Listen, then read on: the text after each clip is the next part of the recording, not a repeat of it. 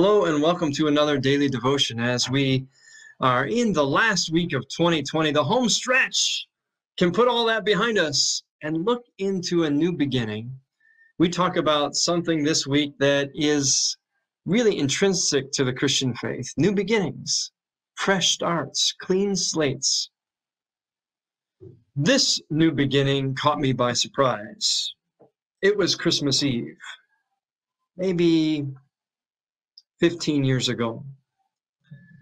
I had literally just gotten done with our 11 o'clock candlelight Christmas Eve service in Portage, Michigan, where I was serving. I was driving home. I got to the house and do my normal pastor kind of thing, at least a pastor who's a dad. Um, I guess it couldn't have been 15 years. It must have been 11 years ago. I started to wrap gifts for the family uh, who are all asleep because they all went to bed earlier. And um, as I'm sitting kind of in the stillness of the house, I get a call. Pastor, so and so just had a stroke. They're in the hospital. We need you to come now. And so at one o'clock, 1.15 in the morning, I was driving over to Bronson Hospital and standing in the ER with a man I had seen in the bed not 55 minutes earlier. And he died there. And I thought to myself, as the family had all gathered, shocked, stunned, going from celebrating the birth of Jesus to standing at the bedside of one who they were celebrating with, now dead in minutes how life can change. So, in the same moment, more so than any Christmas Eve I'd ever experienced or Christmas Day, I held the birth, the incoming of God's incarnation into the world, a new beginning, and a beloved brother in faith dying, and the resurrected Christ who says, I am with you always. And for those who die, I say to you, you will live and have life. In that same moment is the Gospel of John, who says nothing about birth narratives. I don't know if John even cares about some birth in Bethlehem. He starts with a timeless God. In the beginning was the Word, and the Word was with God, and the Word was God.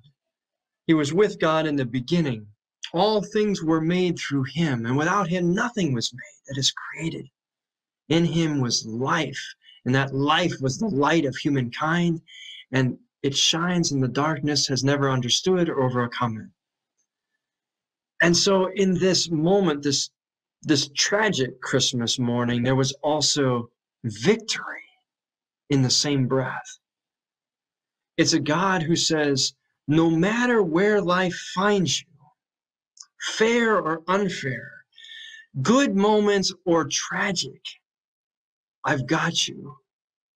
This word that is made flesh, who is the light of the world, is with you.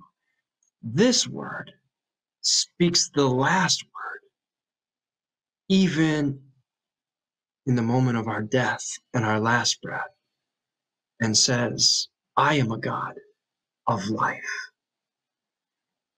to me, John's new beginning in this good news gospel of John is saying to us as human beings, the light has come into the world and relentlessly pursues us in our darkest places and says, I've got you always. This Christmas Jesus, this baby Jesus, is also the one who will shed the grave clothes and say, Don't be afraid. I bring you peace and good news. Tell the world who I am. Hallelujah. New beginnings. It's never too late. Always. The word has the last. Amen.